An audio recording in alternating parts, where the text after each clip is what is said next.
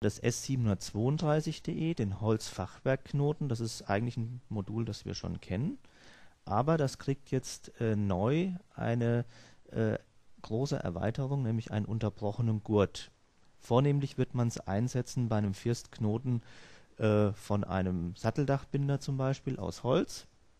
Das ist die Besonderheit, wenn wir den Gurt unterbrechen, dann müssen wir hier Momente übertragen. Und dann brauchen wir hier für diese Teilanschlüsse momententragfähige Anschlüsse. Also bisher konnte das Modul das schon mit einem durchlaufenden Gurt, jetzt können wir den auch unterbrechen. Und wir können aber nicht nur das jetzt am Firstknoten unterbrechen, sondern ganz allgemein. Wir können irgendeinen Knoten konstruieren, bei dem der Gurt dann unterbrochen ist. Möglich sind direkte Verbindungen Holz-Holz oder wie es hier gezeichnet ist, eine Holz-Blech-Holz-Verbindung. Ähm, das Blech kann auch außen liegen. Eleganter ist es natürlich, äh, wenn es innen liegt. Als Schnittgrößen, wie ich eben schon gesagt habe, der Gurt, der kann mit Momenten, Querkräften und Normalkräften belastet sein.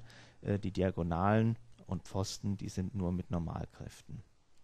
Wir geben das alles vor für jeden einzelnen Teilanschluss. Das äh, Modul prüft dann das Knotengleichgewicht, damit man da auch nichts falsch gemacht hat.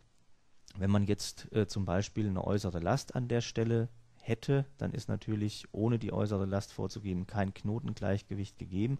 Das Programm kann aber trotzdem rechnen. Also wenn ich jetzt aus Mikrofee beispielsweise eine Übernahme mache, da kriege ich ja die Schnittgrößen aus den einzelnen Gurten und dann sehe ich als äußere Last oder als, als den Lastanteil, der übrig bleibt, ähm, dann äh, bei der Überprüfung des Knotengleichgewichts genau die Kraft, die an der Stelle angegriffen hat, als Kontrollmöglichkeit.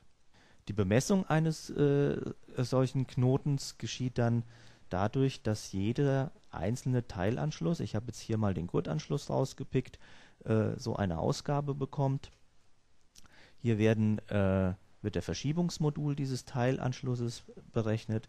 Ähm, wir kriegen das Schraubenbild konstruiert wieder, wenn wir wollen, oder wir können auch ein vorgegebenes Schraubenbild nachrechnen oder jetzt in dem Fall mit, mit, mit Bolzen der Anschluss.